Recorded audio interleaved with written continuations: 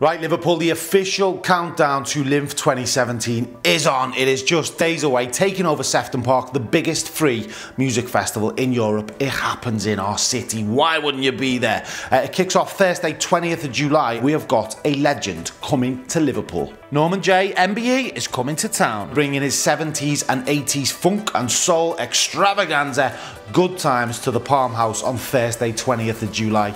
It's gonna be incredible, and you can book your tickets right now. But first, let's chat to some of his mates who are coming along to join the party. Hi Liverpool, DJ Rudy Ranx here. I'm looking forward to bringing the party vibe over to you guys at the LIMF Festival 2017. Myself, alongside the Good Time Sound System, will be performing at the Palm House on Thursday, the 20th of July. If you haven't got your tickets already, head over to limfestival.com and get on the case. See you then.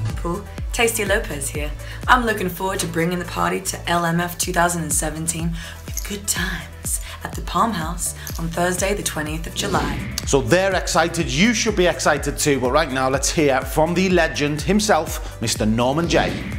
Hi, I'm Norman Jay, and I can't wait to bring my legendary Good Time sound system up to Liverpool to kick off the city's International Music Festival at the Palm House on Thursday, the 20th of July. On the night, I'm going to be joined by my DJ sidekick Rudy Ranx and the wonderful Tasty Lopez, who's a fantastic female DJ.